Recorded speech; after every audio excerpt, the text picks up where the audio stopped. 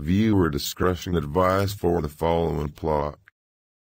Contains references to bugs, so don't watch it offended. You've been warned. Do you have any more questions that are relevant to this case? No. I have no further questions, Your Honor. Just go sit down. What are we going to do? The outlook of my case doesn't look good right now. I'm not sure at this point, Jack. You're supposed to be my attorney. Now you'd better do something. Wait a quick second. Something just slipped my mind. Jack Thomas.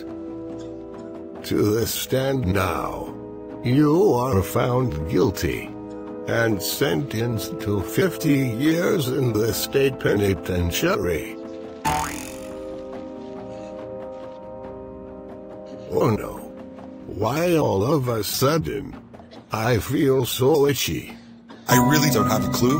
This is Paul Jones with a special report, and I really don't know how to explain the situation, but the Patagonia County Courthouse was shut down indefinitely due to a a a a bug infestation.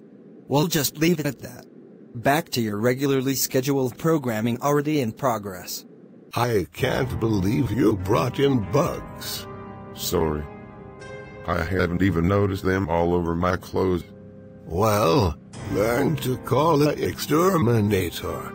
And speaking of that, you're paying the $10,000 extermination bill. No. You can't make me. Do you still want to be a lawyer? Yes. Well, you're fired. You can't fire me. You don't have the authority to.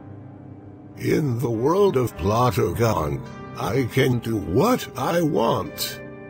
Oh.